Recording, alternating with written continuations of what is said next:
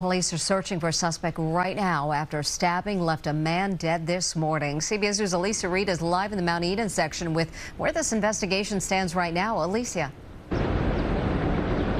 Mary, NYPD officers have been focusing their efforts at that store behind me with the white awning. It appears to be a barber shop, and they've been walking in and out as they investigate this deadly stabbing.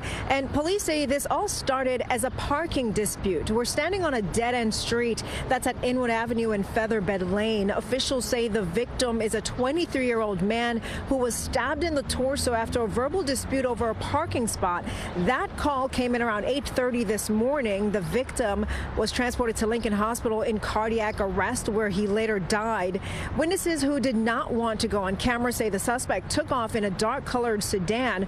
Residents in this area say parking is a challenge in this neighborhood. There are many double parked vehicles. Cars are parked next to hydrants and tight blocks to maneuver. It's still unclear what vehicles were involved in this incident. Of course, we will follow this story as it continues to unfold and bring you the latest details in our evening newscast. Live in the Mount Eden section of the Bronx, Alecia Reid, CBS 2 News.